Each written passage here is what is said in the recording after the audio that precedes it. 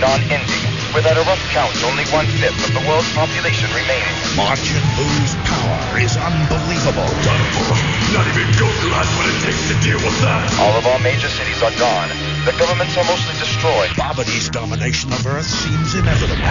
Buu, unstoppable. There is hope, but if Buu finds it, he'll destroy it.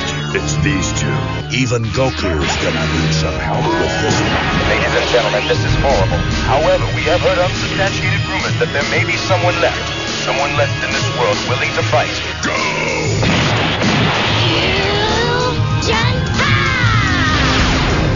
Yes, you're doing it. Stay with it. What power? 39 new episodes. Dragon Ball Z. Starting Monday, September 16th at 6.30. Sometimes it's darkest just before dawn. Who is nothing?